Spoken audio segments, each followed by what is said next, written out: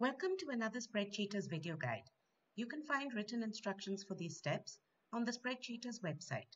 In this video, we'll see how to password protect Google Sheets. Google Sheets is a popular online spreadsheet application.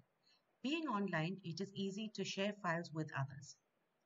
Google Sheets does not have the provision to assign a password to protect a Google Sheet, but you can achieve the same effect by restricting the users who can access the sheet. So here I have a file where I want to restrict the access. So I go to File, say Share, and then Share with Others. So in the dialog box that opens, I can enter the email address of those who I want to uh, permit to access this sheet. Now this is similar to creating a password and then sharing a password only with people who are allowed to access the sheet. So I can select, I've just entered some kind of uh, dummy email ID and then I can uh, also select the access um, permissions. So I can uh, determine whether the person can just view, whether